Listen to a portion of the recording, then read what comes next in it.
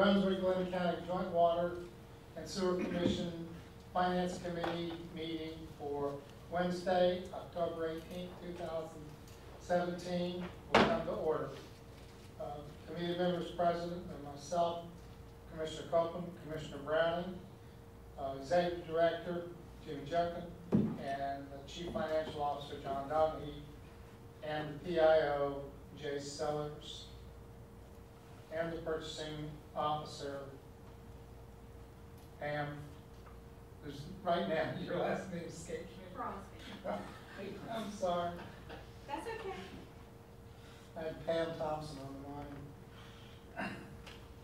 Okay, so if, uh, we can kind of look at the minutes, uh, from the, uh, uh, the September twentieth meeting, and once you're satisfied, somebody will move to accept the minutes.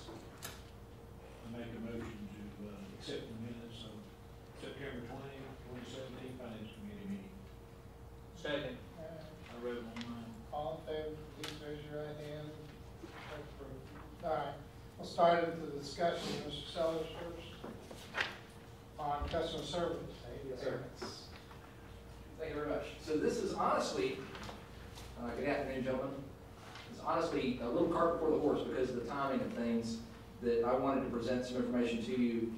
And, uh, you have before you two documents. One that's a very nice graph of what we'll be discussing and then some, some of the talking points. So, uh, right into customer service, our standard is one hundred percent customer satisfaction, which doesn't mean that every customer contact results in their happiness. Customer service, or rather, customer satisfaction level is a percentage of calls offered versus answered, not call resolution rate or an overall customer satisfaction score. So in the last commission meeting, uh, Taylor Cooper's not here to defend himself, but he went to press with the statement that our customer service level dropped from X to Y, but that was only a statement of the Mitel phone system. So overall, we have survey results and we have um, anecdotal, uh, on-the-street evidence of whether or not our customer service level was high or low in the, the calls of what we were talking about specifically at that last meeting, not our overall customer service satisfaction level. Nevertheless, our call volume more than doubled from the, the, uh, the first of the year through the summer. And our customer, our su- service level over the last two periods that we reviewed dropped from sixty-five percent to twenty-eight percent through no apparent fault of the customer service representatives. But that service level doesn't tell the story of how happy our customers are. It's, only a reflection of our ability to handle the surge in call volume. So once we develop the standards for customer uh, satisfaction score, we'll take into account variables that help us serve our customers better overall, not just related to call volume. We haven't historically had a, good handle on how satisfied the customers are. And, it would be helpful to cull together all of those variables into one report, and that report would be used to gauge the effectiveness of an individual customer service representative, and that would go into the measurables for their performance evaluation. But historically, it has not been done using all of those variables, but we'll get there. So in preparation for the next HR committee meeting, I'm in the process of developing a history of the call volume increase and aiming to project the future demand. And I discovered that we've had, a, uh, we've had an epidemic of not being able to answer all the incoming calls for a number of years. It didn't just start when we implemented the billing system or the rate changes on July first. We didn't have comprehensive statistics from the Mitel phone system prior to 2014, but we did have enough reports that had been printed out and laying around going far back enough that I can say with confidence that the trending that we have here was consistent using that limited data. So, uh, which is to say that back to 2008, if I had all of that data together, I would expect to see that this trend was consistent. Out of just over 28,000 active customers over this period, speaking of January 2014 to present, 16% of them walk into the lobby every month, shown on the top graph, a number that's very consistent with little deviation. You do see, see the, the, the spikes, the, those, those valleys and those peaks, but overall, it, it hasn't changed uh, but a fraction in relation to our active customer count. And I, I got the customer count from the, the rate studies that we've had in the past, and that number hasn't changed so significantly that I think that that's going to affect our walk-in traffic. Unless there was some type of large change in the way we do business, we're not going to suddenly go five, ten percent increases in our customer base. And I know as far as the master plan, those are the projections that you deal with on that level, so I'm not concerned with that at the moment. All I'm concerned with is What is the consistency of the walk-ins? Do I expect to see any surge or significant drop in that? Hmm. In regards to the pending update, Mr. Donaghy is preparing on what progress we've made with BB&T Bank, getting us a reduced online payment processing fee. I, I wouldn't expect the walk-in business to go down much, if at all. We'd likely see customers transition from paying by mail, uh, mailing in their check, to paying by credit card. So there, there is that possibility that we would then be moving business from uh, a fairly low or non-existent fee process, processing those checks by mail, to a, uh, an absorbed fee process that would raise our cost of doing business. And uh, unless that processing fee is reduced, we have more effective options to increase our customer satisfaction level than absorbing a credit card processing fee cost of what we've determined is going to be between 60,000 and 200,000 annually, depending on the adoption rate, for a service that only ten percent of our customers use anyway. I'd like to see us make a move towards staffing a dedicated call center instead. And for example, if we looked at, uh, perhaps eighty thousand a year, including the fringe rate, we could hire two employees at a pay grade under that of the existing CSRs and have them set up behind the customer service area, which could really accommodate perhaps four people. That's how many the, the bank had when that was a drive-through. If we had a call center that was dedicated uh, behind the scenes, then those staff would have less responsibility than those that are processing payments and interfacing with the customers, but they would have to know how to use the billing system as well as the customer service reps. So when somebody calls in, they would be getting somebody that could explain their bill to them. Okay, let me, let me take this in a place that maybe you, you hadn't figured somebody might go. All right, we're talking about allowing people to, and us absorbing the, the cost of, um, The credit doing card? the, the credit card. Yes. Okay, and, and we're talking about absorbing that fee. Are you still saying that's what you wanna do? I don't have enough information right now to help you make a decision. All right. If you go to a call center basis, Yes. let me ask, let me back up a second. If I come up to the window here with my credit card, Yes. Do I get charged that fee? You do not. And the call center could process a payment as long as we're not in violation of our agreement with our credit card vendor. That would be a question for BB. That'd be a problem. We presently do not accept payment over the phone. I, I understand that. The customer that pays it by credit or debit at the counter, JWSC absorbs the cost of that process Today. today. Okay, so there is a cost. There's a cost to that, yes. It's a reduced rate versus paying online. So therefore, you could very well, as long as BB&T Bank allowed it, you could contact the call center, and, and I've discussed that with staff up front. Luke, for instance, commonly has people call and say, I need to sign up for service, and I want to pay you by credit card over the phone so we can get this done right now. No, sir, can't do that. Have we, you guys at one point talked about doing a kiosk out there where we can direct people over? Are still pursuing that? Uh, yes, we are, that would be part of the process that we're discovering with BB&T. There's a lot of unknowns at that point regarding that. I I would like that. Because that'll also cut down on the people that have to stand in line to get served. One, one last question in terms of self-serve. Did we, uh, have we ordered the, uh, drop box for out front that we talked about? We have not, yes, sir. Is that something we can, uh? Do by the end of the day? No, but Oh, certainly. Uh, just for a lack of focus, I haven't put it. I know, I know on. We can do it. I'm just curious. I did confirm with the company we can do that with a purchase order, so we don't have to put it on a credit card. That was one of the questions. Let me ask you a different question, though. Uh, Have you got the uh, pieces together for one of your uh, able-bodied assistants to maybe pursue in your stead, i.e., your- one of your IT people? Which pieces? The getting Dropbox, is that one of those other duties things that we could just? Oh, could we, could we land this plane pretty quickly? Yes, sir. Track it down, uh, rather than you having to do it, just, Too easy. okay. Okay, so let's go back to the, the other issue. Yes, sir. I'd like to investigate, I kind of troubled by the fact that we make everybody come in. to do, set up an account. Is there something that has to be done that can't be done over the phone? Yes, sir, for, for, for a new customer that's never been a customer here before, we have to collect their social security number and verify their identity. So if they're a new customer, For other customers, um, if, as long as we have enough information in their, in their customer fields, their date of birth, their driver's license number, their social security, mother's maiden name, the typical things that are checked on, there's no reason that we can't process or do any business that they need to do over the phone.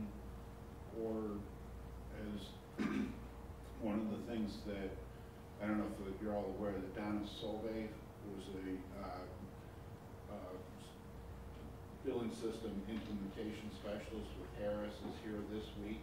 oh, There is a feature within our portal, the customer's uh, access portal that we have, that allows a customer to request a service through that portal. We weren't aware that that existed there. So they can, once that's activated, the customer can request a service of, of customer service or billing or whoever. It goes into a general Dropbox and then someone can be assigned, or someone or some set of someone's can be assigned to go through that uh, request box each process uh, a move in, move out, or uh, whatever other service the customer may request online through the portal. okay. And where there's a will, there's a way. Miami-Dade has a brilliant website that will allow you to sign up for service, change your service, cancel your service completely online. Is that a possibility? Yes, sir. In twenty seventeen, anything's a possibility, how much money do you want to throw at it? So there is a possibility we could have that set up where it's automated and then, because this is essentially what John was mentioning is that the equivalent of sending an email. So now we have an alert that we need to process something. But um, I, I think perhaps with this system, we have the capability, or, or enterprise may be able to activate that to where we can do some more online, that would be neat. But uh, nevertheless, it's not. We neither. have to investigate the security issues of having data come directly into our systems. Credit card information, for instance. Paymentus is completely off. of Well, have we the called server. them, to find out what they do? Miami-Dade, no, sir, only experienced it. So it, it would be useful to see what uh, hurdles they had to jump over to get there. Well, uh, Ma'am, is there somebody at JEA that we, would they be a good reference point? See what they're doing? Possibly. Well, that's- Okay. So that's the walk-in traffic. So there are, there are ways that we can reduce walk-in traffic, but you can see that that, uh, historically, that has been so consistent that barring some huge change in our demographics, I don't see that we're gonna move that walk-in traffic out of the lobby.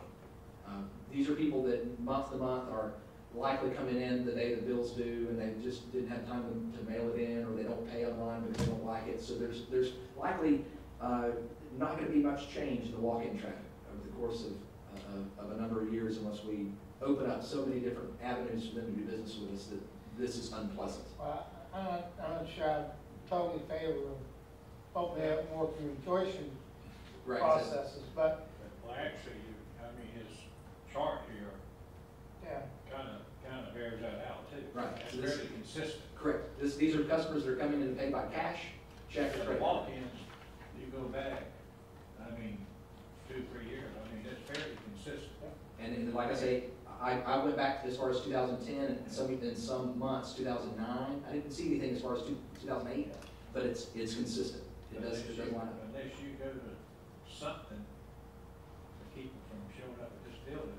Georgia Power gives us the example of that something. Close the door and lock it, and then you're gonna force everybody online. That's what they've done. I, I don't recommend that. What do you mean?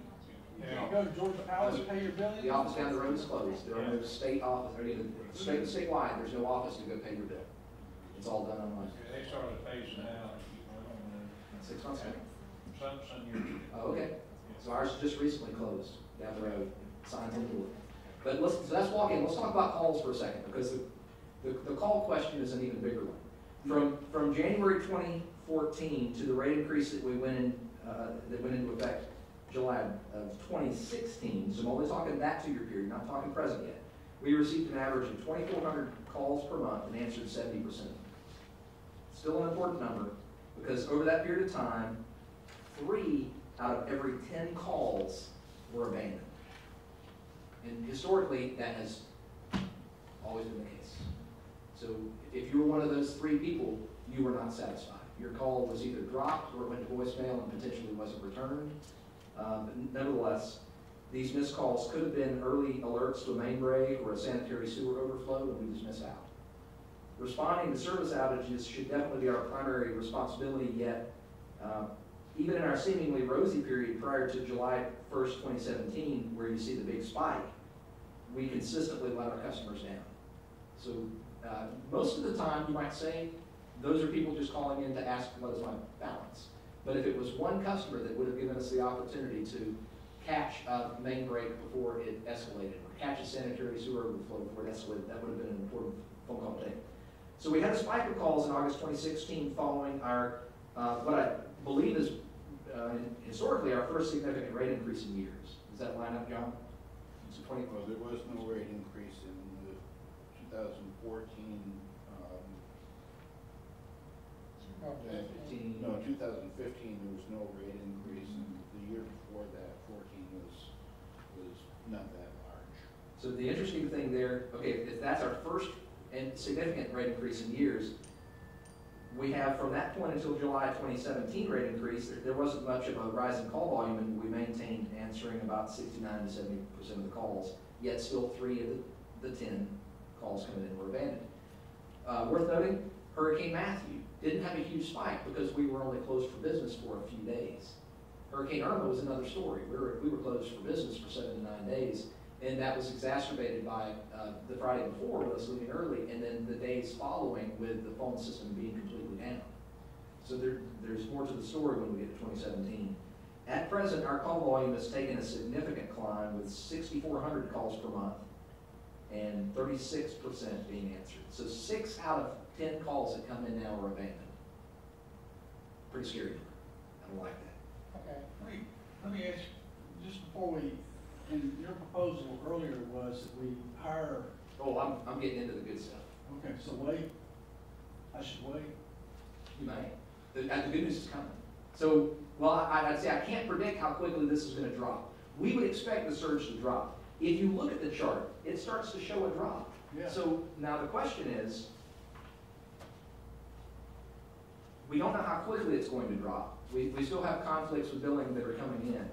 And it, it's rather unpredictable as far as the, the, the balance. Where are we gonna get to the point where it, it's, we're able to answer sixty to seventy percent of the calls that come in? But still, um, if we go back as far as twenty fourteen, and a likely a trend since twenty eighteen, I'm sorry, since two thousand eight, are we going to find ourselves still dropping three to four out of every ten calls that come in? So, in the HR committee meeting, I'm going to lay out the evidence, and that's why I said, this is kind of cart before the horse, because normally I would be coming to see you next.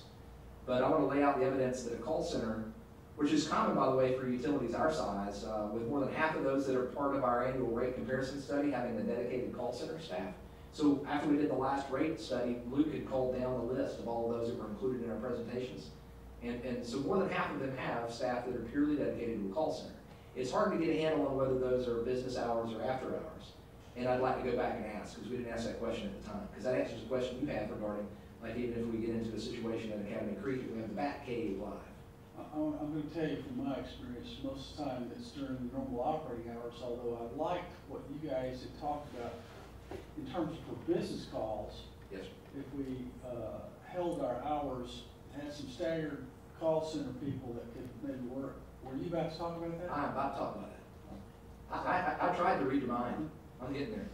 So the, the peak time recommendation from the Mitel phone system reports that during all periods prior to July 2016, we needed three to four full-time staff answering calls only.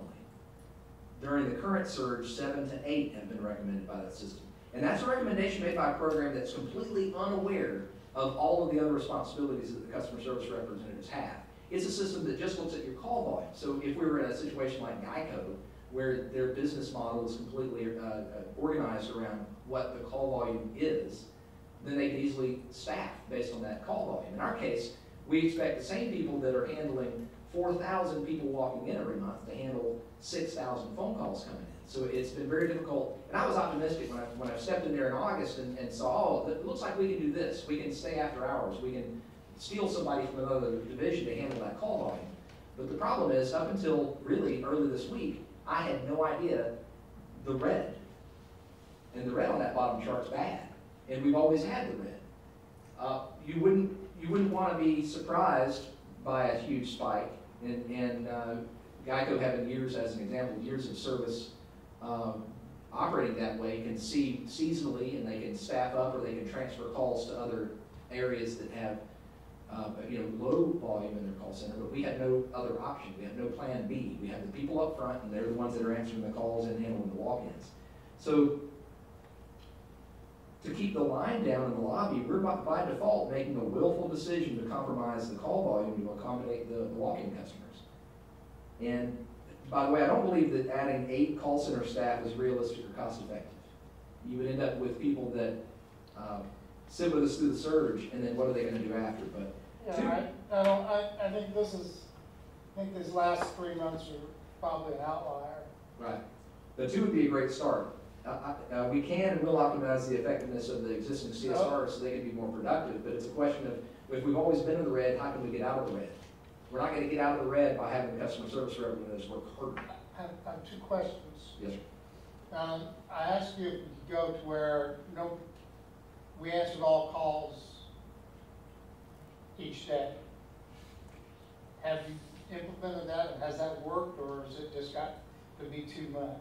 It- is too much, and we have, for instance, this week, we have Lucas from Meter Services answering calls, and he actually stole Luke's phone because we don't have a spare at the moment. So we have somebody from another division that's answering calls, and we're, we're merely, um, staying ahead of the demand, um, by bringing in other staff. But now how do we, long-term, keep up with that and then turn it back to green? How can we answer all calls while they're coming in and not, uh, send them to voicemail?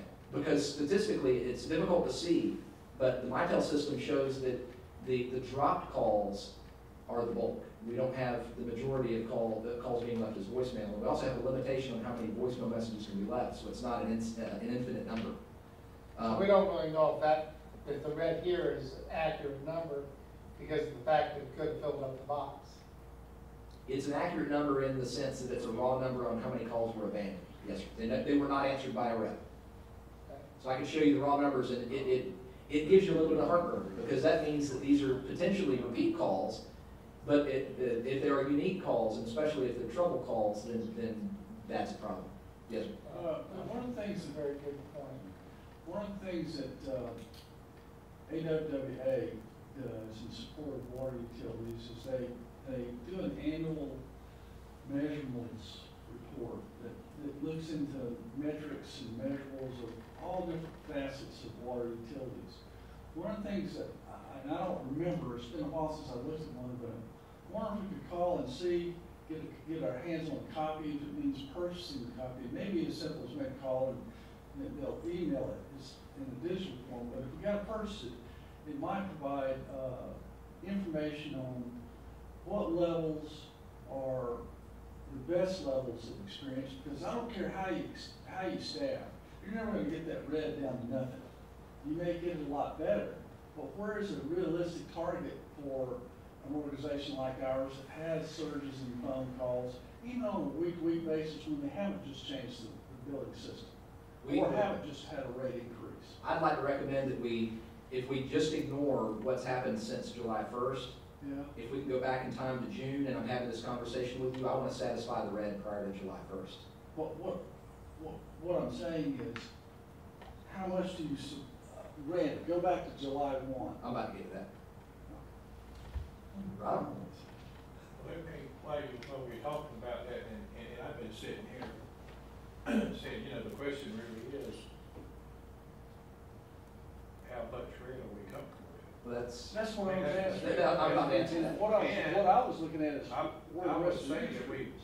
we've apparently been fairly comfortable with it for almost four years, go back to January twenty or fourteen. longer, but You know, that doesn't mean it's the best service. That just I- I means we, understand.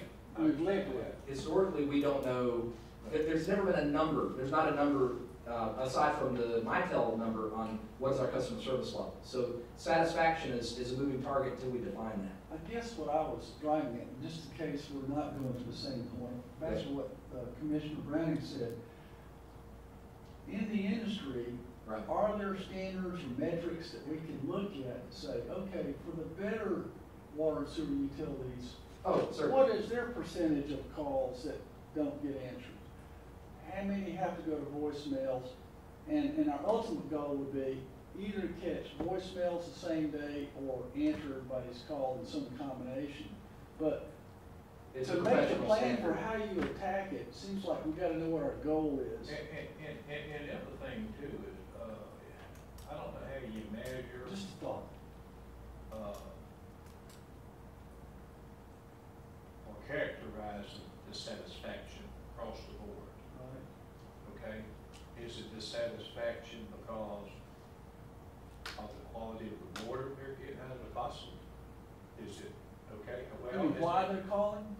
That, that's different, that's gonna be gauged by, by Luke or by Olivia, we're gonna start coaching, and we're gonna, we're gonna monitor the calls, and we're gonna have criteria that says that the way that you responded to this customer determined that this was a, this call was a rating of seventy. And we'd have to have a random sample, we're gonna monitor ten of your calls this week, and based on that, that's gonna, uh, affect your performance evaluation. But, but some of that dissatis, I mean, there's some areas of dissatisfaction probably not gonna go too much about. I can't help that water went to the meter and you want me to You're adjust always it off, gonna I have say those customers. Right, you're gonna have I mean- those. I mean, as. Know you're saying. But how I some of us respond to Don't that. like government or anything related to government. You know, they Not gonna gotta please pick the phone- everybody. They gotta pick the phone up and call, uh, Sears and order something, and get something done, that's one thing. They gotta pick it up, call Jordan, I mean, they already got an attitude, having call Jordan There are standards for that, and Mr. Junkin has already led us to one, the AWWA customer service toolkit. dissatisfaction. And, Right. you know, trying to do something with that. I'm okay with a rep having a customer that didn't like their answer, as long as it's an answer that follows policy. I'm not okay with somebody getting into a shout match with, with a customer, and that's the kind of thing we need to coach out. And, and we hire people that have, uh, skill and empathy, and I believe that they love our customers and they care for them. If, if, if we had somebody that didn't care for our customers, they'd be on the street looking for another job, but, uh, let's consider some questions as we move forward, and, and I'll wrap this up. What's the relationship between the number of walk-ins and the number of calls coming in? So even during the surge periods, you'll notice on the chart that the, and I wish I had been smooth enough to overlay these, but I didn't do it. Uh, If you overlaid those two charts, you'd see that even during the surge periods, the walk-in traffic remained shockingly consistent. There was very little change, and our, our staff is able to handle the walk-in traffic because that's what they've been graded on. Being able to get all of the, the line down quickly and being able to lock the door at four fifty-nine, that's been the standard. When the calls are coming in, we, we have two ways to look at that. Having worked at Geico, I can say the standard was the shortest call is the best call. But we flip that. We have customers that call in with concerns that take time. I'm not looking for a three-minute phone call from our reps. I might be looking at a ten or a fifteen-minute call because you want to be as thorough as you possibly can to make sure somebody understands the business by the time they're on the phone. That's gonna be a hard thing to gauge, and that's why we're gonna have to coach people. A long call is not gonna hurt my feelings. A short call may, because that means that you didn't care enough to talk to them about something. But what's the relationship between the number of walk-ins and the number of calls successfully answered? We know, and we've, we, I've been challenged in here, and I've gone out there and challenged them. The idea was, what do we do to, uh, be able to handle the walk-in customers and answer the phone calls at the same time? Uh, Take a payment, process a call, take a payment, process, process a call. The problem is the same as what we're facing right, right now, with the exception of Commissioner, oh, now I have four, I have four people with eyeballs on me. When you have eyeballs on you, your tendency is to satisfy those eyeballs. So when people are in line in the lobby, the natural psychological tendency, sociological tendency is to limit your time on the phone and knock out the people that are in the line. So we want to move them through, and then we start thinking about the phone calls. That hasn't been good. We've had temps uh, handling calls, we've, we've borrowed people from other divisions, and it hasn't been effective. Do all customers leave a voicemail that can be returned? The answer is no. Only a fraction of the abandoned calls result in a voicemail. So to suggest that overtime be paid, and we had considered that, and we talked about that in one of the meetings about, let's go ahead and calculate how much overtime it would be, it would be necessary in order to accommodate returning all the phone calls before seven or nine at night. the problem is, even since we made that suggestion, it's been spotty. It hasn't been uh, every night. I, I asked, well, how many calls, uh, voicemails do we have? One night we might have fifty, one might, night we might have thirty, one might, one night we might have zero. Uh, because the volume does vary day to day and week to week. And then there may become a spike where we have hundred calls left because of a billing cycle. So if, if, once everybody gets their bill, they have a question, they may call in pretty much all at once. But the reality is still that we have three to six out of every ten calls hanging up, not going to voicemail, not getting to a live person.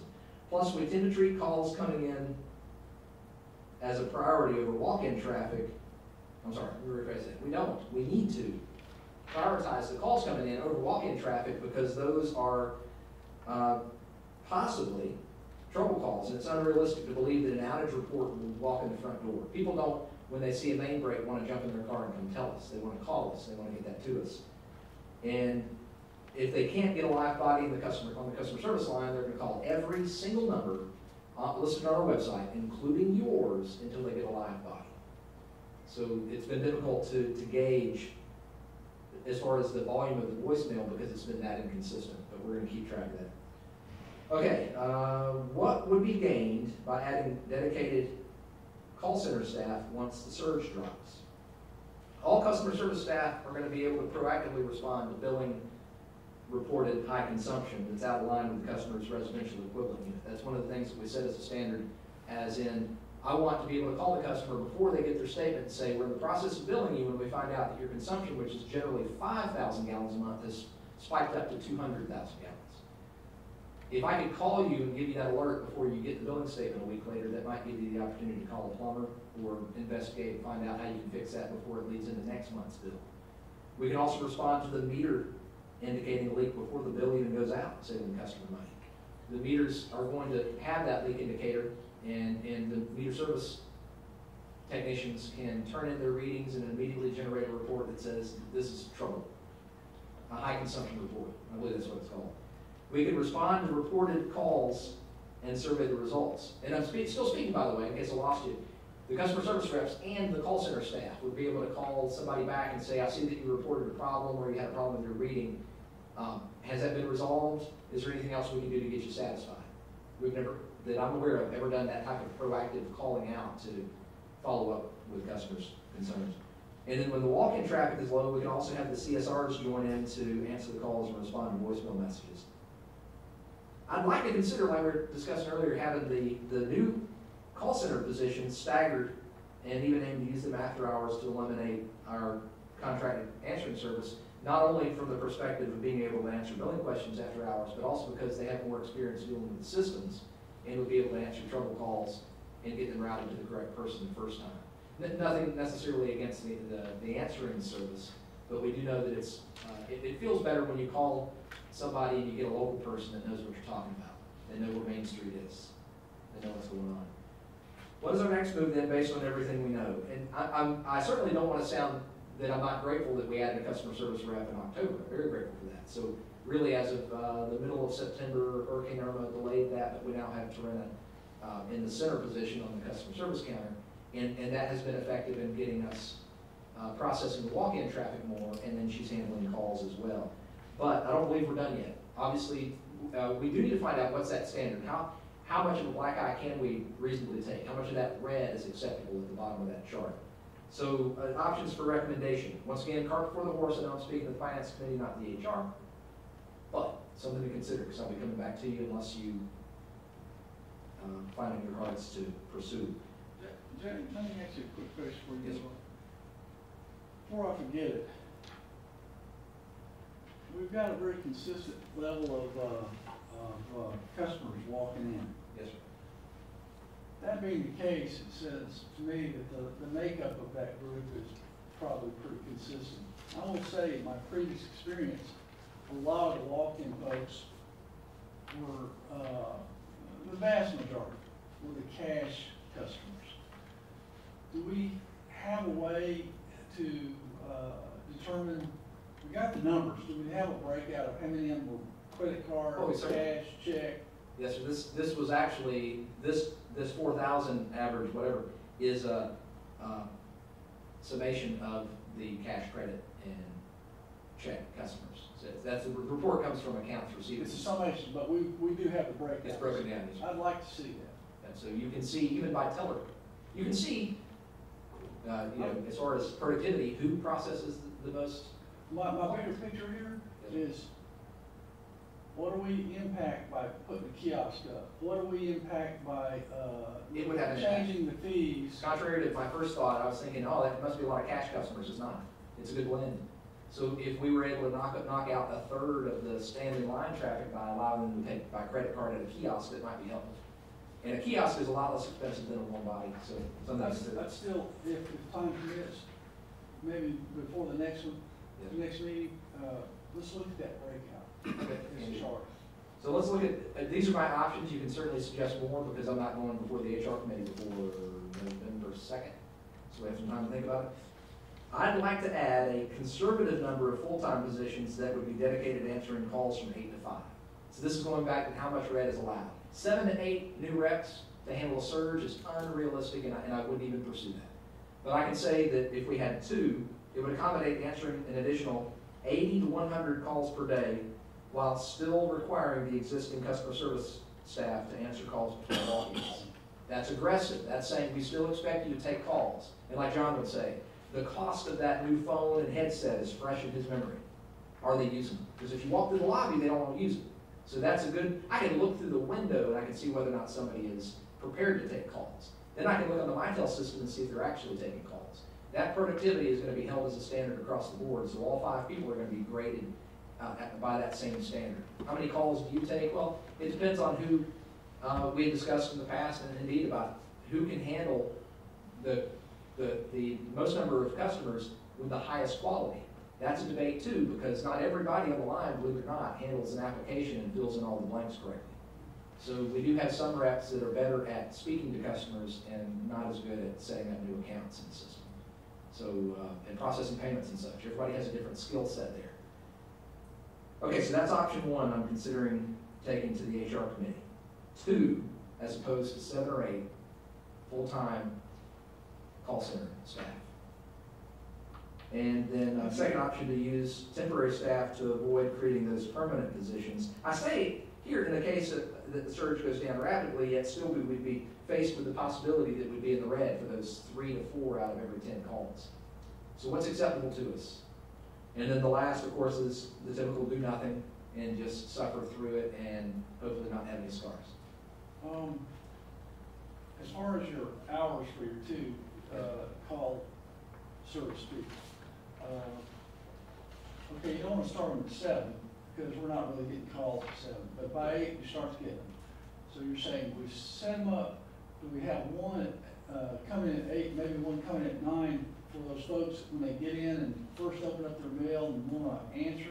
I would even like to give credit to Chairman Elliott. I think you had made this suggestion in one meeting about could we do some people that were here from noon to eight?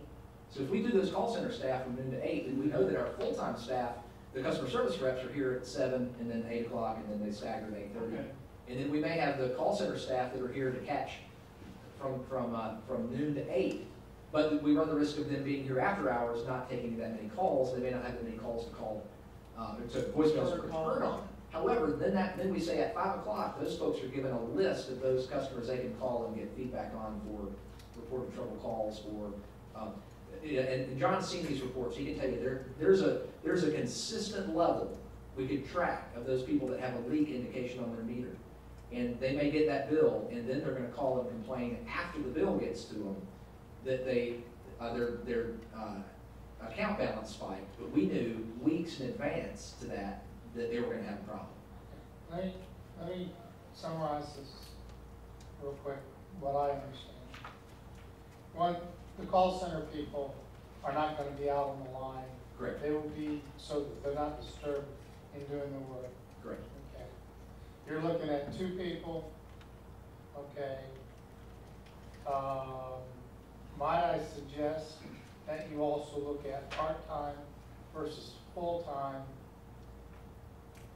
as a way to do it, because you may find there are people that would rather have part-time work, and then go ahead such that the timing is that the person is over the normal business hours.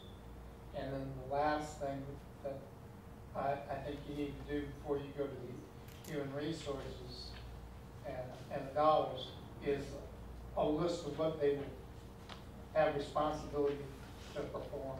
Yes, sir, I have a, a job description drafted up. And I, I can certainly consider the part-time versus full-time. As far as I know, we've never had a part-time staff member, and, uh, we did have recently, early this year, the first temporary to, yeah, the, more or less a seasonal staff. Well, I was. I was talking about some of our billing issues to, uh, a, a lady, and she said, you got a job? I said, well, I can send you down there, and see. She said, I said, are you interested in full-time employment? She said, no, I'd be interested in part-time. If we said part-time with no benefits, then you end up Well, being you, able to get more bang for your buck, for sure. Well, you might have some part-timers that would work a full-time schedule together.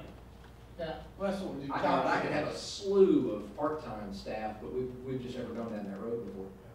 I could have four part-timers, and, and, and now we're, now we're talking, so where we have that flexibility, because then we could also, well, if somebody's gotta be out, you can one of your part-timers, to, you know, that's true as well. Kind of like a substitute teacher. And th- this, this, uh, takes us back to the lady that I had mentioned, uh, in one of the committee meetings, I can't recall which one, about the, uh, the folks that are saying, well, I'd be glad to volunteer to take calls. Well, you, you're a volunteer only so much as, uh, if you want to apply to be one of those part-time staff, then I'm actually gonna pay you. It may not be the kind of money that changes your world, but there are folks, you're right, that are Well, retired I, and I want part-time think that income. you're gonna find that, and, and I know a lot of people, because I'm in that age bracket, but there are a lot of people who don't wanna work full-time, but they wanna work. Right. I, I can go for that. I think that would be very manageable because then we can, we can have a, a good rotation. We can have people on call. We can have people that when we have surges can come in and, and fill in.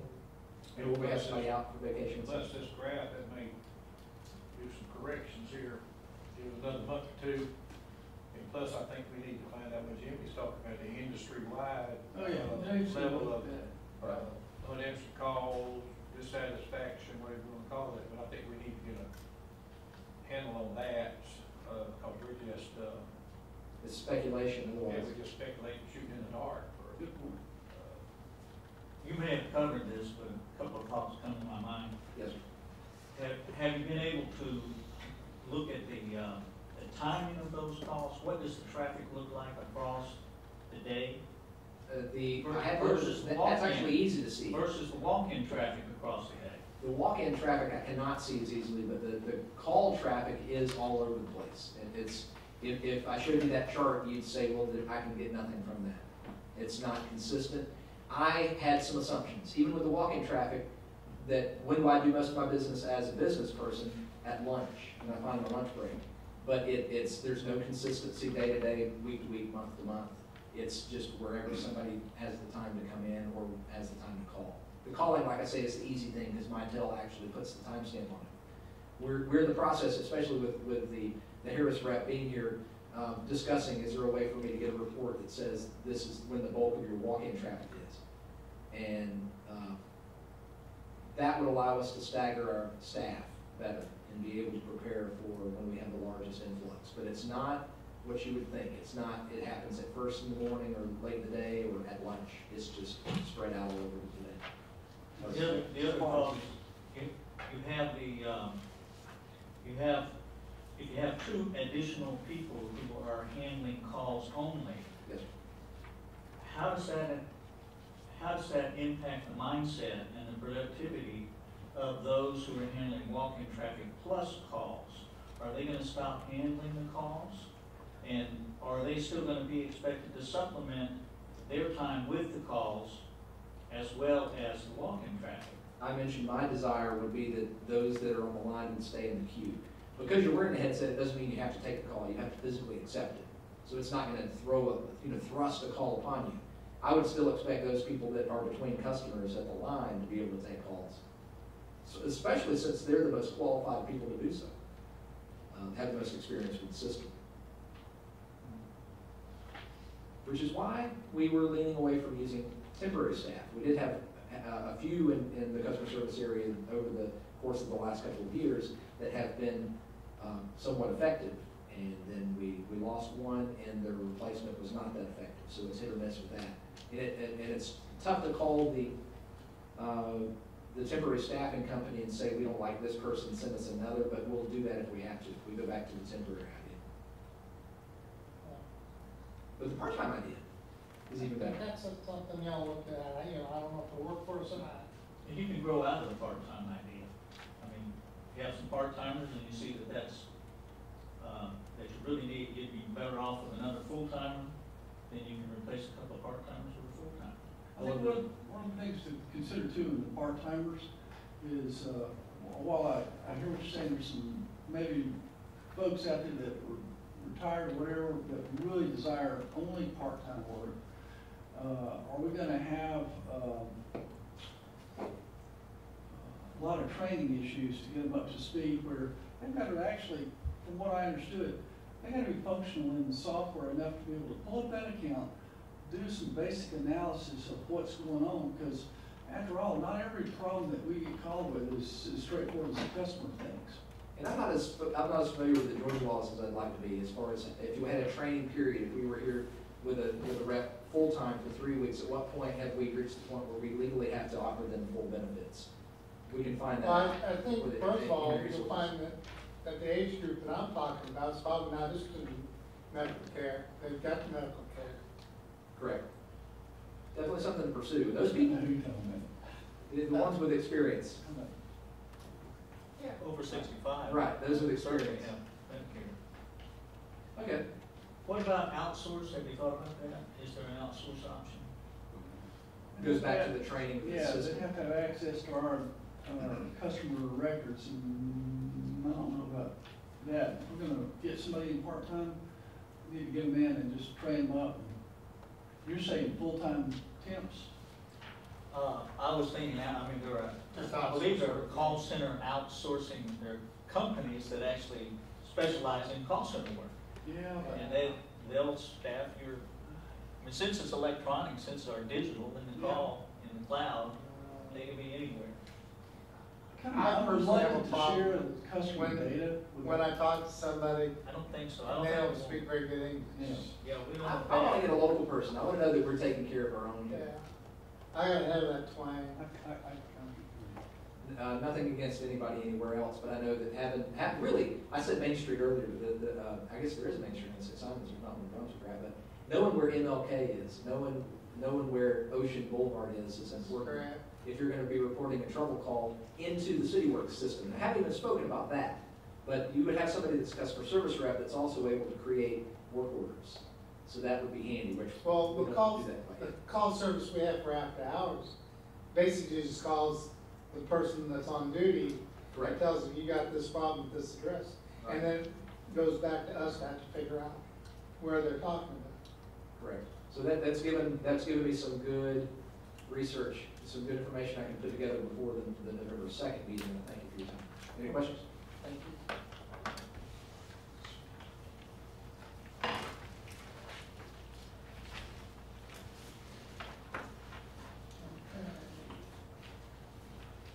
John, you want to talk to about the water production? Yes, I am. Um, in spite of some problems with the, getting the data uploaded, we do have the, uh, at least the beginnings of the chart, and it does need some refinement, but what this represents is month by month from July of two thousand sixteen to June of seventeen. Um, the total height of the chart is the amount of water produced in each of those months, based from, or from the, uh, uh, Billy Simmons and, um, reports that they do. And then from the billing records, this is the amount of water that's actually measured in those months, not necessarily billed, because there are, there is vacant usage in there, and self-use and so on. And then the, uh, the unbilled represents water that's, um, has not, has been measured in the, pr- the uh, production process, but not measured going through meter. What, i- is it the sequencing of the billing cycles versus the monthly production Yeah, there's a- there's a start new difference in cause that. the erratic? That'll cause some erratic behavior, um, because we, we actually read meters, um, approximately uh, twenty days out of the year, or out of the month.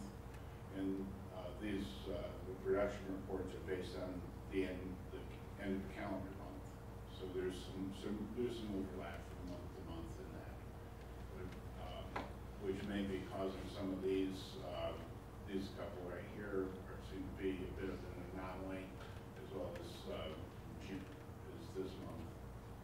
So we've still got some more data verification to do on this and sorting out different pieces of this, of this number in particular. To see if there's, there's something in there that we can account for.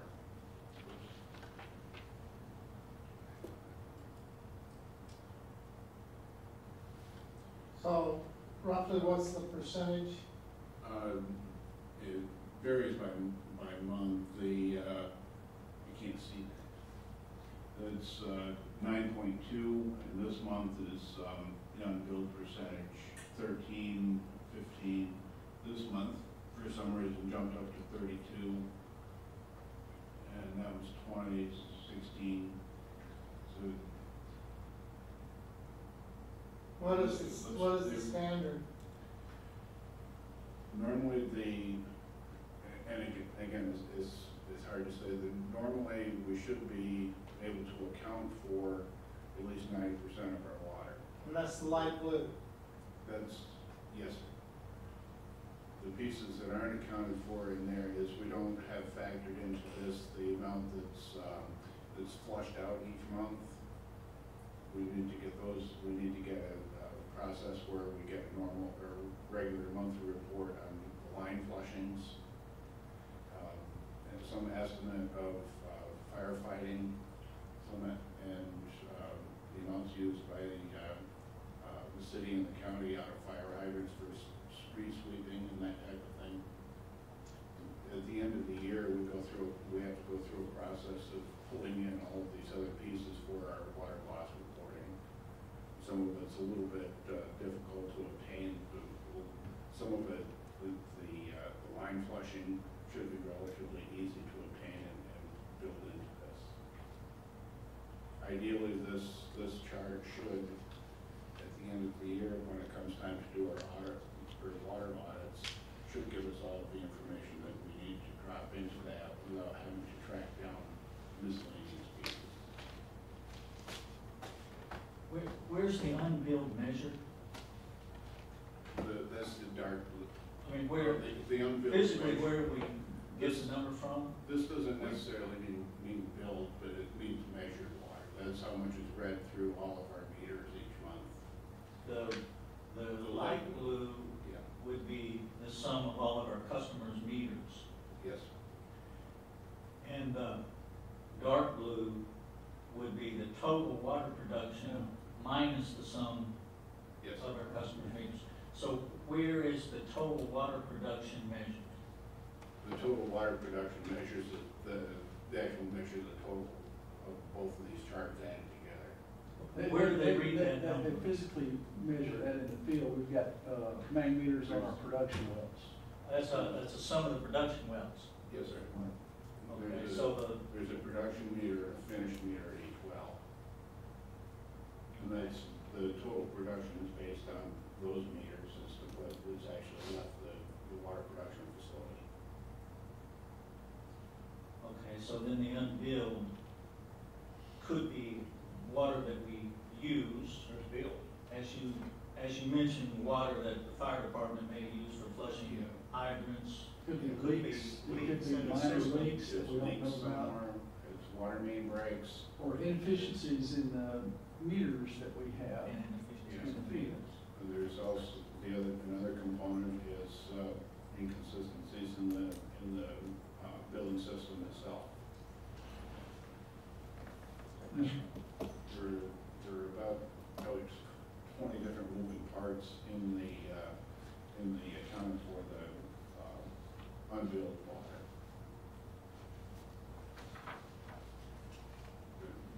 We've got, we've at least gotten this far now, we've got more questions to ask, we'll start trying to systems in place to capture some of these, uh, these other pieces of data that we want to get.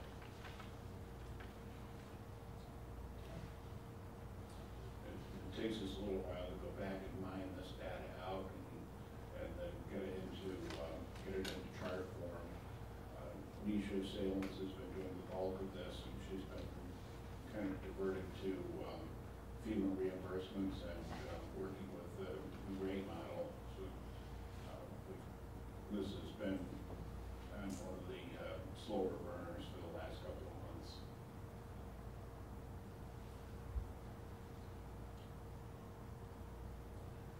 And we do have uh, a bulk of the data pulled together for our electrical costs. We need to get that in a spreadsheet format so that we get it uploaded and start developing those charts and update some of the others that we, uh, that we do have working right now. And, um, once we, once we get these a little more fine tuned, we will be able to put, uh, a link on our website that, um, commissioners or other staff can go to, to, um, to view some of these charts.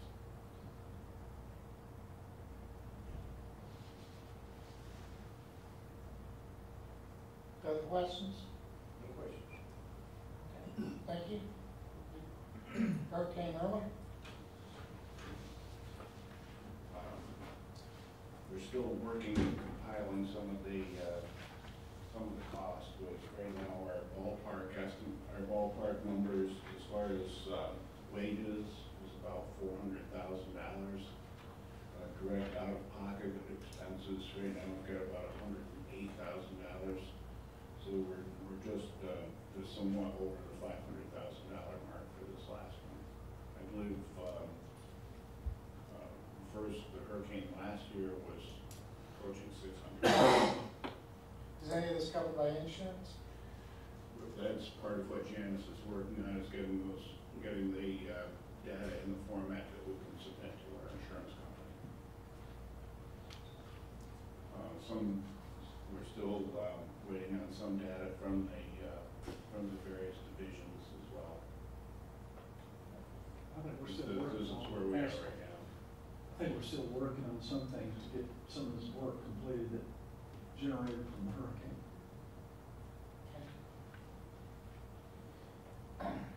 And It, it it will probably wind up being in the same range as the hurricane last year. And what's our process to submit what's not covered by insurance to submit to FEMA? Well, first, we have to submit it to our insurance company, and any reimbursement there is, is deducted from, um, from what's eligible for FEMA. So, it, um, depends on how much FEMA covers then, uh, there may be some uncovered portion that we'll have to absorb. Uh, has FEMA been, um, is that process working? With FEMA, And Anisha's been, actually, the FEMA folks were in, um, earlier this week to, to work with her on the. okay, but we didn't have any problems filling out the forms and all that other stuff that we're supposed to do? Our, our biggest difficulty is gathering the information to put into the forms and getting that all accumulated. The forms, I think Janice has gotten a little better at the insurance forms, that was kind of a learning experience for us last year, as was FEMA, but insurance seemed to be the biggest learning curve for us. So I think we've got a better handle on that this year, and Nisha is quite well versed in working with, with the FEMA reps to get maximum reimbursement there as well. And we're also working with, uh, Hagerty on some of this, as a, they're helping, um, as a consultant. The reporting to the insurance is totally different than the way it's reported to FEMA. With the insurance, it has to be the damages per location, and we have a schedule of values of the value of every lift station, every different building of the different facilities, each building has its own value. And then there's, the deductible is two percent of the value of each location, each lift station, or each building. And then those deductibles, if, whatever meets the deductible, then would get added up for a summation of a total of a hundred thousand dollars for it to even be considered to have met the deductible.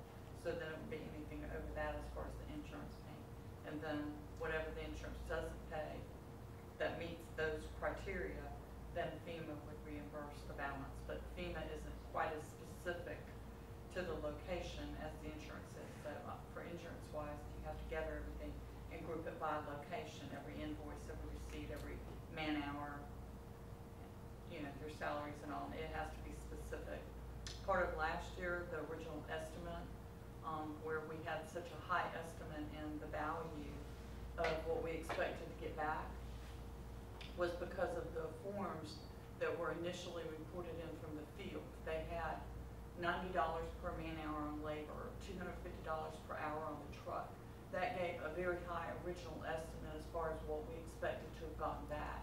That was how come the original numbers and what we really got in the end, there was such a difference in, was because those original invoices, those were, um, some preset invoices that were used for, you know, billing customers or companies, you know, based on those standard numbers, like I said, ninety What dollars we, per man hour. what we believe the numbers are as opposed Right. to what the standards Right, but are. once you took the reality, the real numbers, the real cost of a man, you know, twenty-seven dollars per hour with all of his benefits and everything, the value to the company, that's much different than ninety dollars for a service fee, you know, and then also FEMA, um, the insurance company doesn't allow us to claim any of the use of our own equipment. We cannot claim the our own vehicles or our own equipment. We can claim vehicles or, um, or equipment that we had to rent or purchase or repair, but we cannot claim use of our own vehicles. FEMA will allow us a certain number, a certain dollar amount for the use of our own vehicles and our own equipment. So there are those differences, but for last year's numbers, from that original big number that was provided that we expected to get back, that really was an unrealistic number that was provided, and it was because it was based on these invoices, these theoretical invoices that we used as the original reporting forms that were brought into us from the field. I don't know if that might help a little bit with the explanation. of it. Does FEMA, since there's a deductible, the insurance, will FEMA cover a portion of that deductible? Yes, whatever, whatever out of the total that we do not get back from the insurance is considered by FEMA.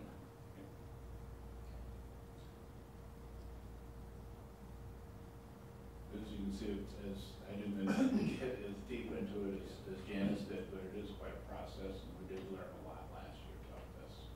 We were, we were, even before the event happened, we, we met with all of the superintendents and people that were tier one, and said, you know, this is the information that we need for insurance and for FEMA, to hopefully get a much better job of capturing that. And, and you know, some of the, we had had additional finance folks at uh, Academy Creek to help process all of that paperwork during the event as well. Same, the same process we go through with the county, Yeah. and they, they're pretty good. I, I say they are, they, they haven't had to go to them, to my knowledge, except going back to Matthew. And, uh, but they were real good about covering everything the insurance company did, but, you know, if it was, uh, storm related, you know, since it was a emergency declaration, natural disaster, you know, they, they pretty much covered it all, if we had it documented. And that was part of the trip was the documentation. Yeah, documentation, get, get your documentation right. Uh, we have a couple, some things, couple things from Matthew, we still haven't received all the money on, but it's in the works. And, and that's only because it took us longer, to- some of the repairs we had. Yeah. We've got repairs, say, uh, we own some land in front of some homes in Turtle River, Turtle River took a big, on part of the bank. Mhm. And that's gotta be restored, and all, well, it was storm damage, and, uh, so we documented all that, taking pictures, we got people over there today, actually working on that. Uh, So, that'll be repaired in due time, in a pretty quick time, uh, we should, we should receive our money, uh, within a few months, I would think, it was documented that it was done, but, uh, there's probably gonna be some repairs that we can't get to for a while, but as we get those done, spend the money on it, and get the paperwork turned in, so, you know, we may have some things that take a year to get our money. Mm. you know.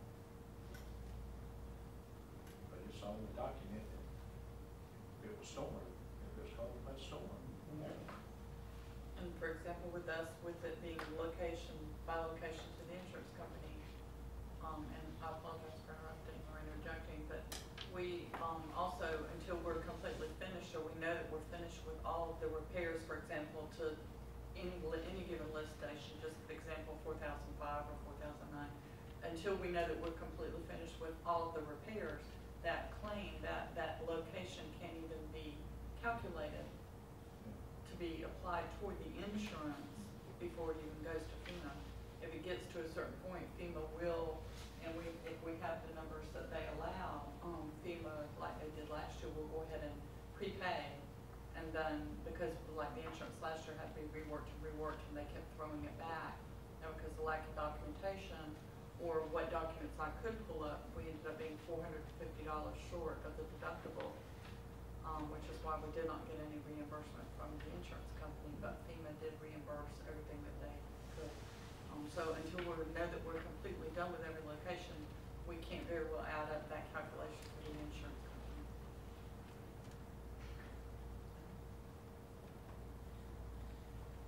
Steve, any other questions? No?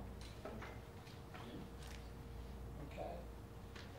Um, Move on to, um, bond issue calendar, I guess is where we are.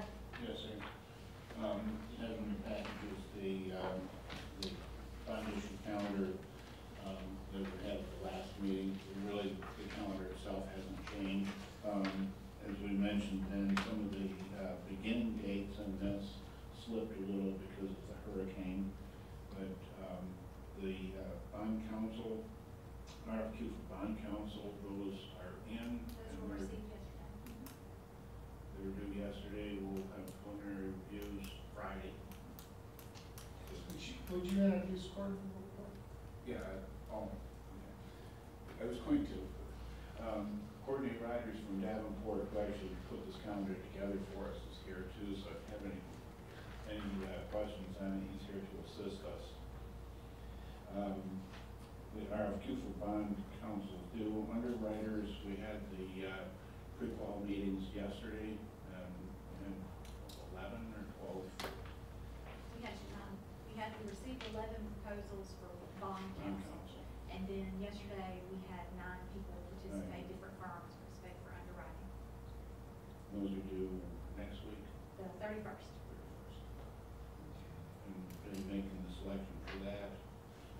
Then Courtney is actually here for the meeting tomorrow and has a presentation for that. You want to talk about your presentation, Courtney? or- Happy to. We'll preview for tomorrow. Um, what we're thinking tomorrow is, uh, in preparation, as, we- as you look at the calendar, uh, we're talking about bond sale, trying to achieve, uh, March first. And in order to get there, backing up off that calendar, we wanted to get in front of the full board and give you a sense of the things that we would suggest you do to get into place so that we're putting our best foot forward when we go to the bond rating agencies. Um, so primarily looking at financial policies tomorrow is what we're gonna conduct. We're gonna give you a sense of where the market is, talk about the process. Um, we're gonna get into the credit analysis again, like we did earlier this year. And then we'll talk about some financial policy guidelines, give you a sense of where we think, uh, things may end up with the sizings and, uh, finish up the calendar. And, uh, obviously be available for any questions that, uh, the commission may have. So, can, can we add a, um, I don't know if it's part of it already, but the decisions that the commission needs to make regarding how we go forward in this, I think the major decision, we're gonna take the existing bond and roll it into a new bond. Right. And advantages and disadvantages of that. Okay. And then structure the bond such that, um, our needs are met. Uh, but we're not sitting on money that we really can't use because it's just not feasible to have that much construction you manage at one time. Right, and splitting it up into maybe two tranches, maybe do a little bit, um, now in twenty eighteen, and then depending upon how your spending goes, we come back in twenty twenty or twenty twenty-one with maybe a second piece, that's, that's some of the decision points. We'll need some of the numbers from Raftelis as they're working through the modeling. um, I'm kind of thing is maybe that's something, as we bring the actual bond resolution to you, maybe we can have a presentation just prior to that or at the same time, that, uh, as the numbers start formulating, will, will firm. Uh, something that I think all the commissioners need to be well versed on and be comfortable when they make their voting decision.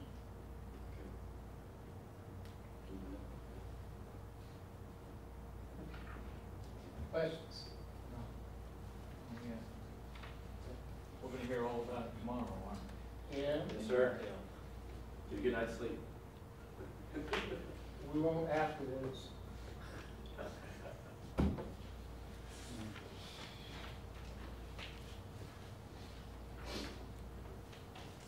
Okay. Uh, financials, Financials. Um, I don't have, we don't have updated things in the charts yet for those. We just finished these earlier this week. Um, and here you have the, the normal statements, the balance sheet, uh, first of all. Um, and really only comment on this is you'll see our cash balances, cash equivalents has decreased, uh, down to nine hundred thousand, one point four, June thirtieth.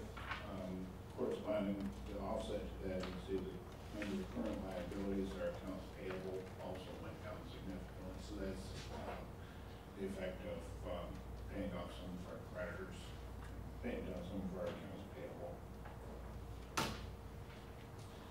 And the second page is the combined revenue statement for the first three months of the year. And of course, this includes some of the uh, hurricane costs that will ultimately, hopefully be uh, reimbursed through insurance, and we should get FEMA reimbursement for that as well. Um, Year-to-date actual for um, net income, which is about, um, just near the bottom, net income before capital fees and SPLOST, which are unbudgeted revenues. Year-to-date, we're at uh, twenty-six thousand dollars net revenues over expenditures. So we're right, standing right at break even in terms of actual expenditures. We have uh, seven hundred ninety-five thousand dollars in encumbrances out there, so uh, if all of those were to be liquidated, which is not reason, not expected, would be about seven hundred and fifty thousand, seven hundred and sixty thousand dollars short for the year. So between uh, SPLOST and capital improvement fees, we've collected uh, through September of uh, one million three, three, one million thirty-three thousand dollars. Our total SPLOST collections to date are, um, what is it in here? Um, one million two hundred and seventy-six thousand dollars since the beginning of SPLOST. I, I think, to me, the most disturbing thing of, the revenue statement is the fact that we're not generating any fees in planning and construction. And there's a lot of that that we, we expected from that. And so And it appears we're gonna have to do a budget adjustment. Yeah, there, we haven't had uh, developers coming in after the, after the budget was adopted to, to start new projects, to build them. Uh, Aren't we still doing the county review? We're still doing some of those, yes. Are those holdovers from two thousand and seventeen? Largely. And we should be billing, when we do any reviews, and the county charges for that. Yeah, We should be doing. These are, these are the holdovers prior to us changing the, uh, if I understood just now, prior to us, uh, Changing, changing and implementing policy. uh, Yes, and I mean, Am am I hearing there that should right? be, there should be some uh, capitalization of wages in there too for, um, uh, for in-house labor that's spent on projects. yeah. And we need to get that kind of cleaned up. I, I need to get those numbers from Mr. Fine and get those worked out, yes. Well, I know that the county charges the developers for their services. We need to do the same thing. And part of that is the review that the county has us do regarding plat, construction plans and all that. Uh, let me interject and ask, did, did we get the, uh, there was discussion before the fiscal year started about, uh, uh, getting one of these programs to, to allow the various staff to track their time. Uh, Have they implemented that, or do they have the tool ready to go? We have to sit down and decide the format of how we're going to do it. The Teamwork Services is, is ready to do that. It's a matter of, um, you and, uh, um, Andrew and Todd and I sitting down and figuring out what structure it needs to be.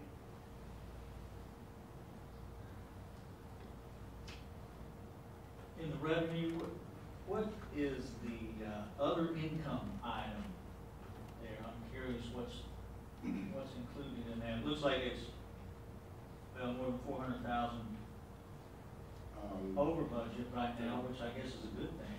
That includes, uh, that's kind of the catch-all of other, other revenue sources such as the rent we receive from CBS for the building here. Um, We, we collect rents from cell phone companies for the antennas on the water towers. Um, There are, uh, when somebody pays their tap fees, they pay for, pay for the meter and the installation of that meter. That's included in this um, interest income, um, the, uh, anything we sell for scrap or for surplus is included in that as well. So it's, it's any, it's things that don't fit into, charged on a monthly basis to users. Does it look like that budget number of two million forty-six thousand dollars is gonna be far exceeded? And it may a million dollars over by the Um, end of the year. The, um, things like the, the tower rental, which is about a quarter of a million, three hundred thousand dollars a year, that normally doesn't come in until February. And that comes in in a lump sum number, so that, there is some seasonality in that. Um, the details of what's in those accounts is actually, um, on the last pages of the, uh, um, of the financial reports, you have the, the line item detail of each of those, each of those um, summary lines. And so there's about uh, fifteen or twenty different line items that comprise that uh, miscellaneous revenue number. Uh, Subject collars, uh, fire protection fees, which are water lines, um, proceeds of sales and those type of things. We also charge a, a sixty dollar fee when somebody op, or fifty dollar fee when somebody opens an account. So that's, that's included in that as well.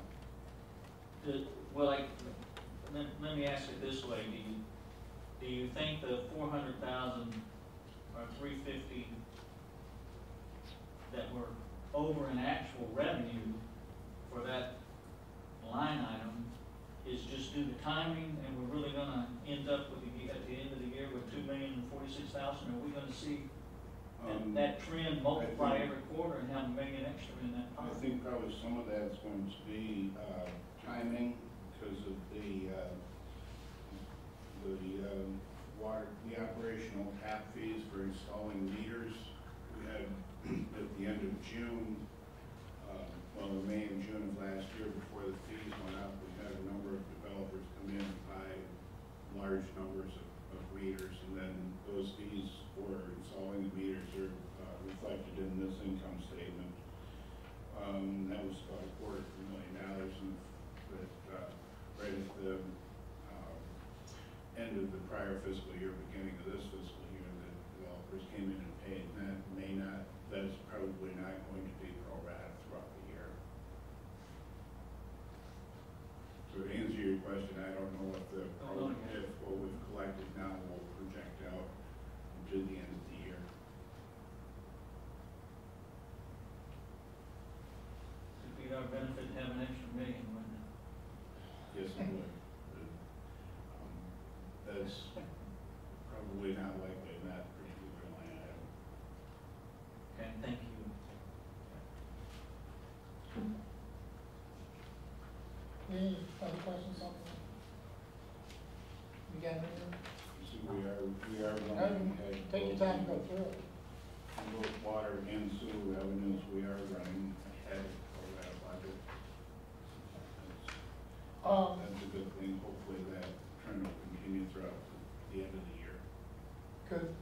would this report be mailed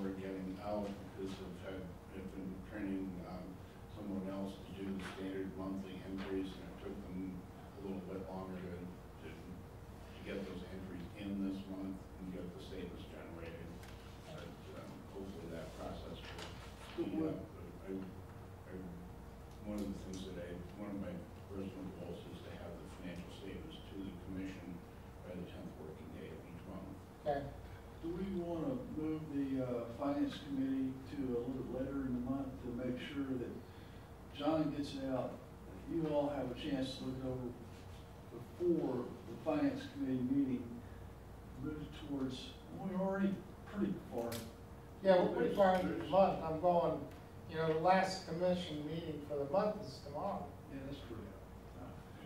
Maybe So, we meet have finance committee meeting at the very end, and then the first commission Well, meeting Well, then, then you kind of already through another month. The, Yeah. the third Wednesday and Thursday of the month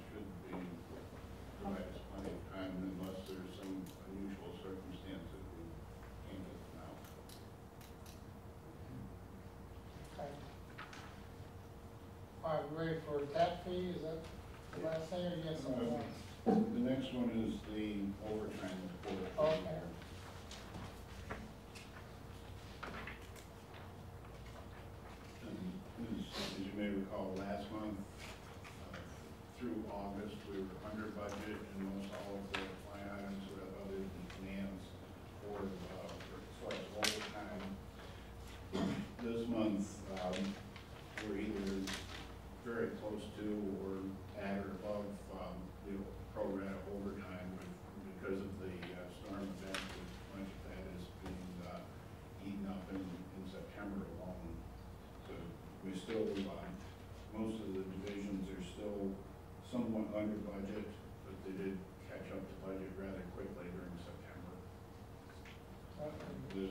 Finance Division is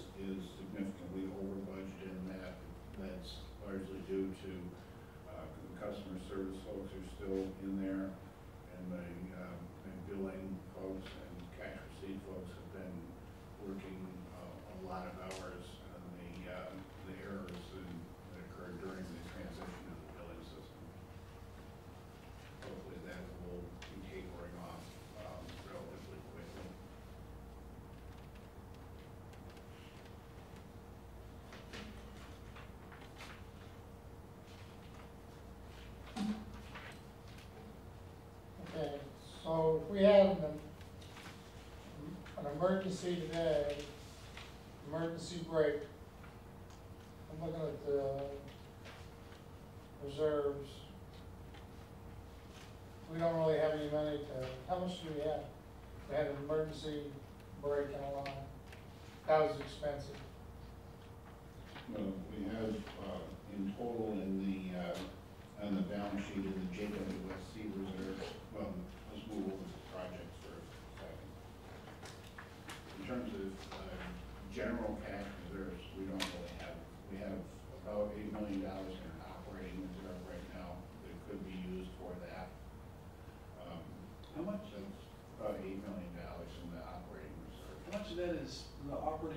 That's for the That's- policy we have to keep our bondholders. Yeah, that's the four-month uh, uh, reserve, uh, four months of the uh, operating budget that's held um, as part of the, uh, a uh, targeted level for um, bondholders. We've adopted by policy now, so we really don't want to tamper with that money, do we? No, Unless we it's don't. bona fide It is there, nuclear for it's there in case we need cash for an emergency break, but it does have to be replaced at some time. Okay. Un, undesignated reserves, what, are- what are we talking about? But we, we, there's still money in the R and R reserve, even though it is committed to projects, which is the next page that is going to the project report.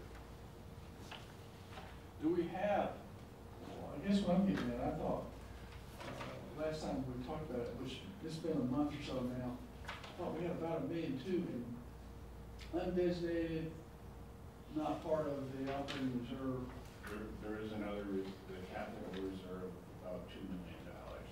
that is undesignated funds that's sitting out there that, Is designated to offset future borrowings.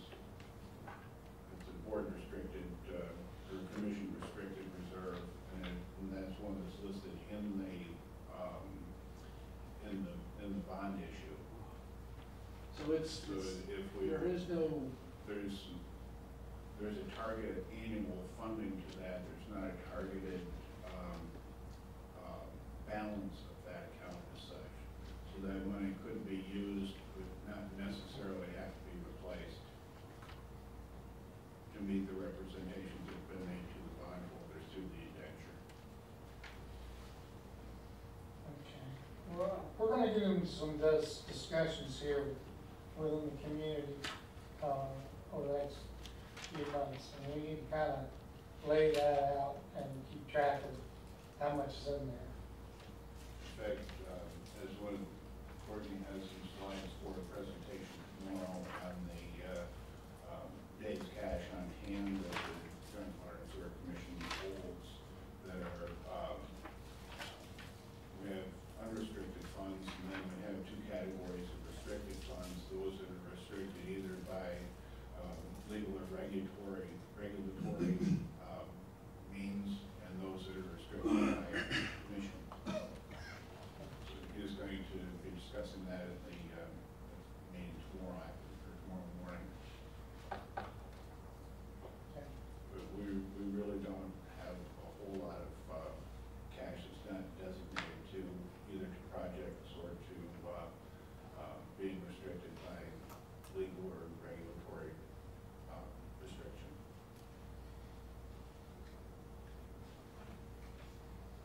Okay.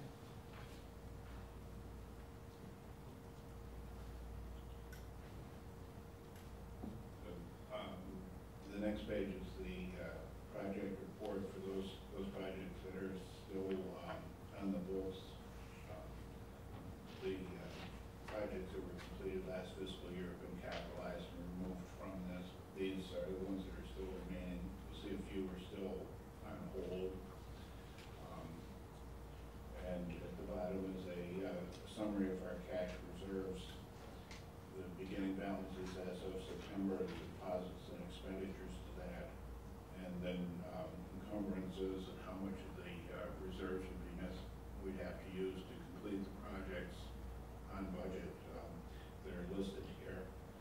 And um, right now, there would be, uh, there'd be about five million dollars of unrestricted or monies that aren't committed to something right now.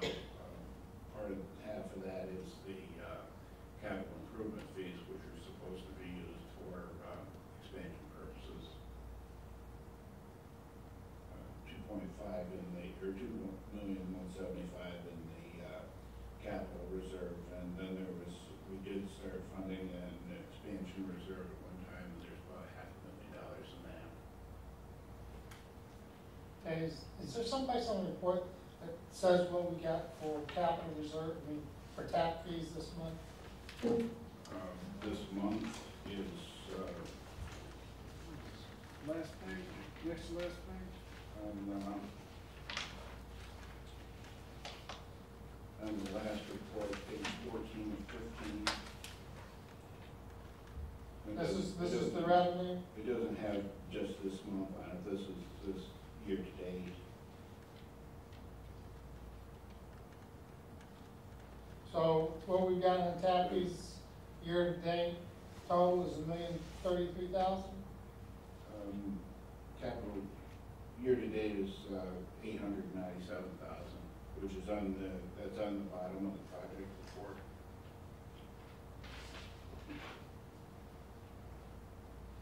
Project.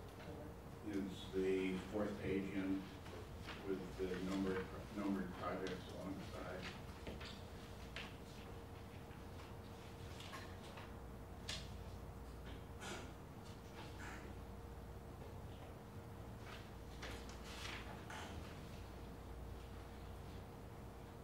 It's uh, project report top uh, left, then um, project number, project name.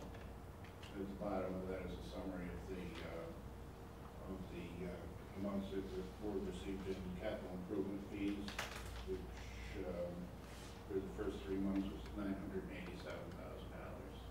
Okay. That's for the year. That's year-to-date, yes. Okay. So that really.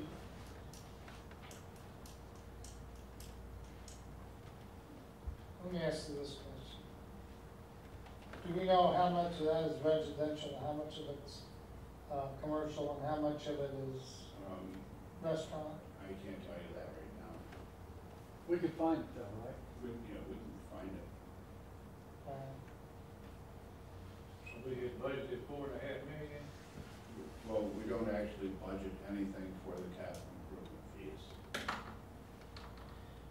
Well, what is the budget That's, that's number? not, that's income, that's, that's dependent on somebody coming to us and wanting us to pay. It's not something that we can, the service that we provide that we can bill for. Well, yeah, but when we do, when we did a plan, we had an idea how much we needed to collect this year. Yes, sir. And what's that number? Um, I don't know that off the top. of Three my million, head. four hundred thousand. And We, we, we, we, estimated, when I was doing the capital plan, uh, first year I said, very conservatively, five hundred taps, even though we sold almost seven hundred this past year. Went very conservative with our estimate. I said five hundred at sixty-eight hundred dollars per tap gives us three million, four hundred thousand.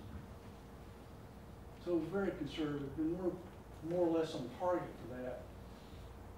With the rates, we'll, we'll, and I expect in January, when the North Mainland stuff, or February, if it's that late, when the North Mainland stuff opens up, we'll see a significant surge.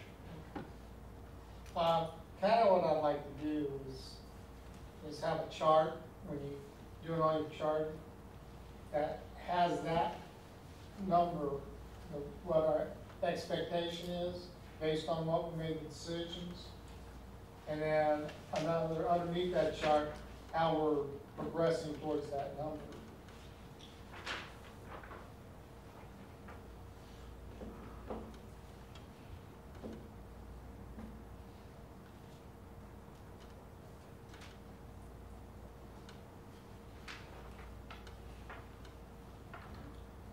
And then I'd like to know what the makeup is, and, and as the discussion later, how much of that's made up by restaurants?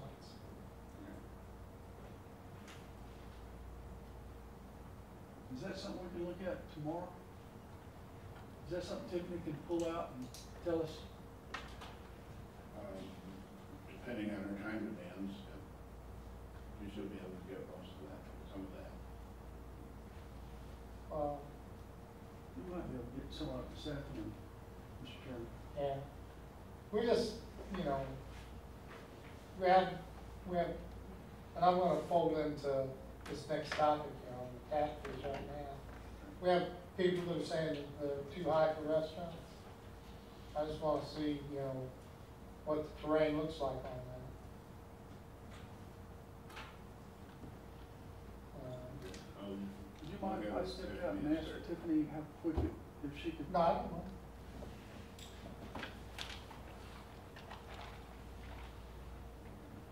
We don't, make any distinction for that as far as the. Well. I, I realize that, but we need to kinda have a little more granularity on where our, what our source of capital money is coming. And we are, we're building that into the billing system now. It, um, uh, We're working with the uh, folks from Harrison, breaking up the uh, um, categories, commercial, government, restaurants, uh, residential, irrigation, so on, for, for water use types. And combined with that, we'll be, we'll be able to pull out the, uh, the uh, tapping fees received by those same types. It's, it's a matter of getting all of that data built into the database to be able to pull it back out again. Okay, another thing on, on tap, think we've had some discussions before and that is, are we at a point now in, in our accounting system to where we could finance tap fees? Yeah, we- we've been at that point for some time that we could, we have the physical ability to set that up as a recurring fee to the, to the to the customer. Um, The, uh, I think some of the difficulties in uh, doing that is, well, not really difficulty, but we would have to somehow attach that tapping fee to a a lien on the property. So if the customer moved or Well, sold the property. Could, could, could your staff look at it and the rest of the, the staff and kind of put together a, a, some policy, um, suggestions for the commission regarding, you know, how we could alleviate the burden on restaurants And I, you know, it's a big upfront fee, but, you know, I, I don't know whether the people that are interested would, would be willing to, to go into a, a contractual arrangement for financing it. Or whether they're just gonna be insistent that, that, that they, they, uh, come down. The other thing is, um, look at, uh, maybe a way to cap tap fees, uh, based on water, uh, pipe, uh, coming into the restaurant, Meter size? meter size, yeah, that's a better term. And see what the alternatives are, so you can present them to the commission. Okay. You- uh, Coming up with the policies to ensure that we receive payment from the customer is really the, issue there. Mechanically, we can build them out. And the other thing is we need to run it by, um, the attorney to make sure that we're not crossing any lines that would create problems.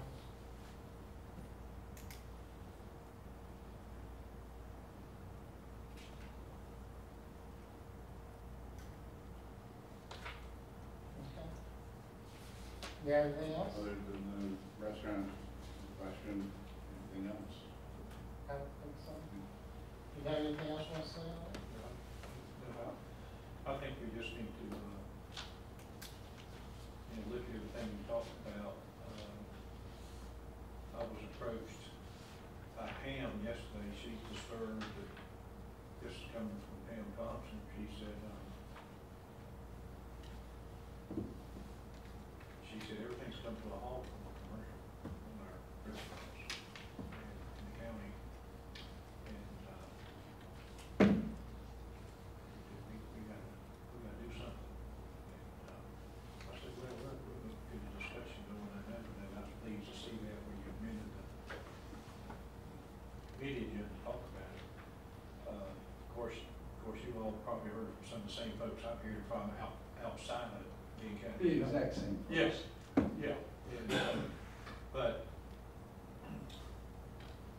now that we've had the raise, and look, I voted for the raise. Uh, You know, but now that we've got it in place, I think we need to hear, uh, about the information that's out there, what's really going on right now. Maybe, maybe too soon to really see a trend, you know, but, uh, Oh, but, but, but I think we just need to talk about them and see what all the options are. And uh, finance it might could help some people. If we don't do nothing else but offer some financing.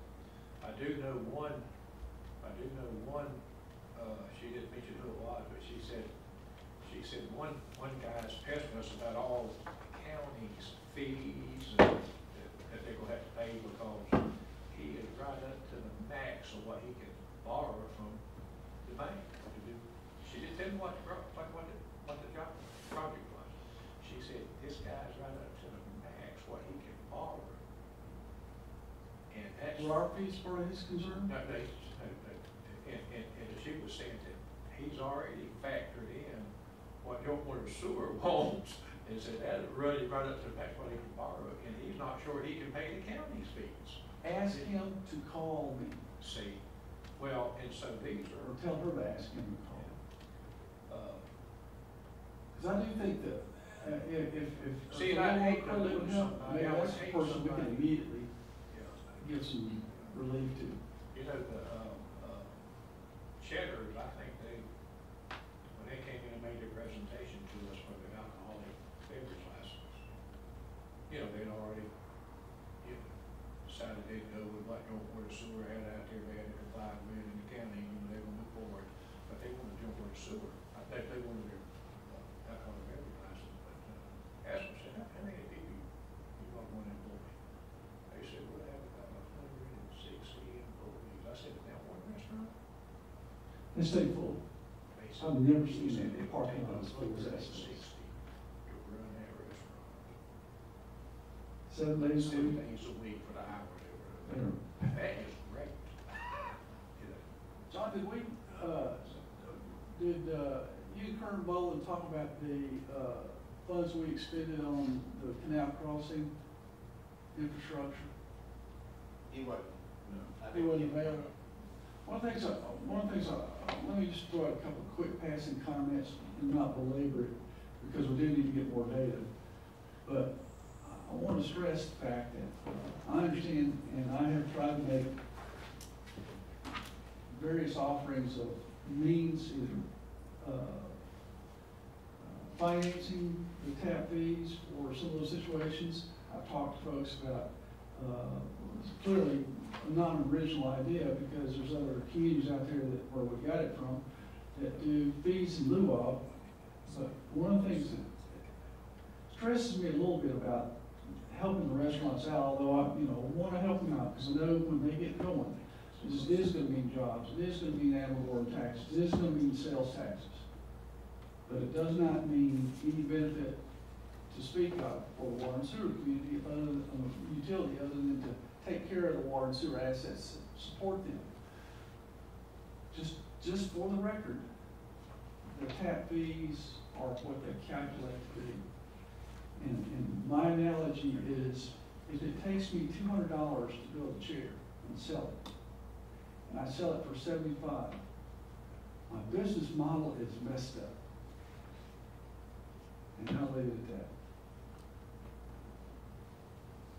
So, But I know there's other pressures out there, but I'm just, for the record, But there's, there's people out there saying, it's in the industry that say our tap fees are too high. well, if they want to Looking sit, at other markets. They want to look at the numbers with us, every situation is case by case in the community. If they want to stop and look at how the calculation went to get us to that number, I'll, I think we're, what we're talking about is on both sides of Canal Road, we, the joint water and sewer fronted to get it where they could open that place, was ballpark over four million dollars. Spent our money to help them, but getting tap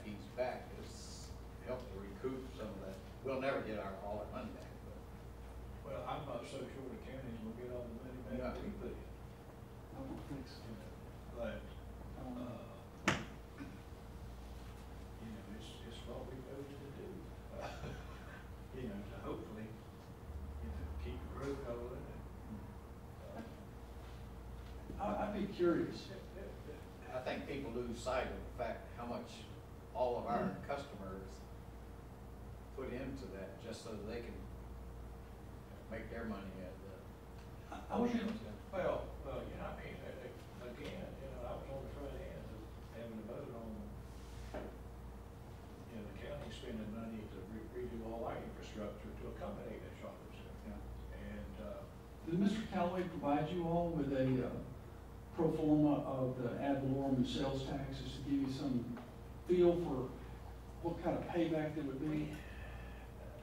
We got that, but I don't think it's from him. I think it was from uh, maybe EDA. Mm -hmm. okay. okay. Yeah. They looked at it.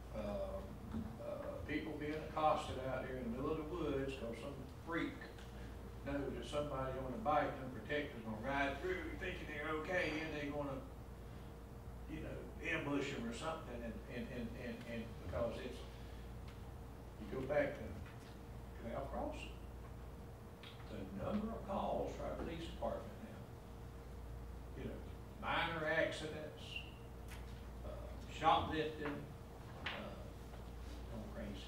And I know it's gonna happen. I know it's gonna happen. Uh, we all know it's gonna happen. You can't even hardly The, count the, that. the, the, the calls for service, uh, you know, once you, once you have more people going to an area, uh, St. Simon's a good example. Uh, You know, when there's non-events and away from summertime,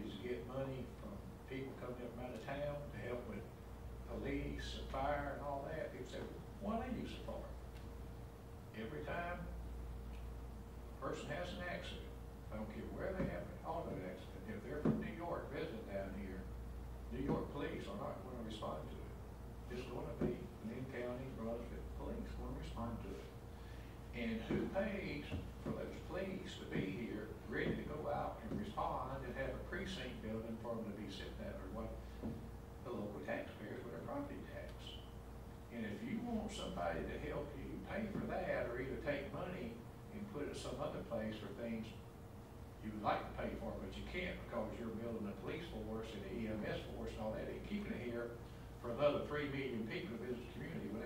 And we have fires on the interstate, these eighteen wheelers catch on fire. We had three in one week, a few months ago, three in one week. I mean, uh, we actually had two, two in one day, and another one just a few days later. Glynn County Fire Department goes out and puts those fires out. Those are not local eighteen wheelers coming through. And, uh, the traffic backups, who responds to that? Local police, state police. So, you know, a SPLOST is a good thing for county taxpayers. Because there is a tremendous burden on services when you have another two and a half, three million people come to this community. They use it. And I, I've always said too, on water and sewer, um, there's an added burden. I, I don't, I, I think Travelers bringing an extra burden on our water and sewer. When I say that, I've ever gone out traveling someplace, oh, man, I, I end up saying, for some reason, I take more showers than I do, especially at the beach. You know, you go out in the morning, get on the beach, get sandy, you go back and take a shower, because you can go to lunch, you know, okay, get on the They quit washing your clothes and dishes, so. Yeah, and all this other stuff you use water for, you go back to the beach that afternoon, then you come in, shower, and then go out and eat, and that evening you decide, well, we'll go to the beach, you know, get sandy and take a shower. And, um, uh, I don't know if, if the rates are right. How do you capture that?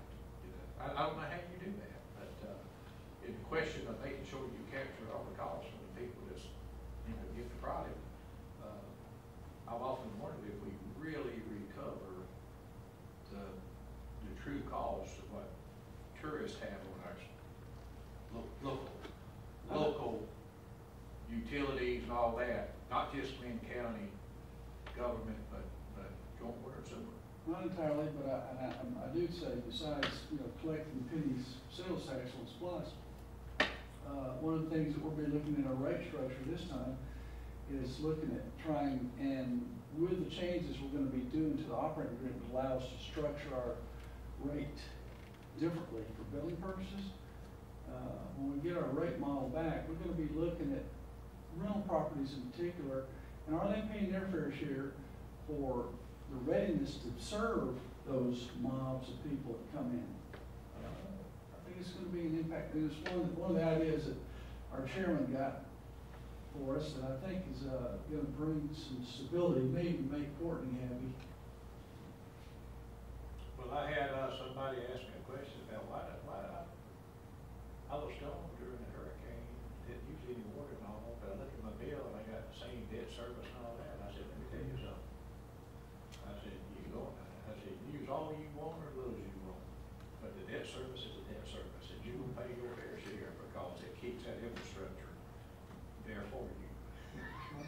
That's You know? right. And, and And the same people don't thing, understand that. the same thing with, you know, everybody takes for granted, we've got fixed costs in maintaining the system, no matter how much people use, that go in, historically have gone into the variable portion of our bill. But same crews run the streets, fixing the lines, so when you do show up for a week or return from a vacation somewhere else or from work, the lines, the services are there. Whether you turn it on or not. You want to hear some fussing? We're going to come out and be fussing. That. Anything else? Gentlemen? Staff?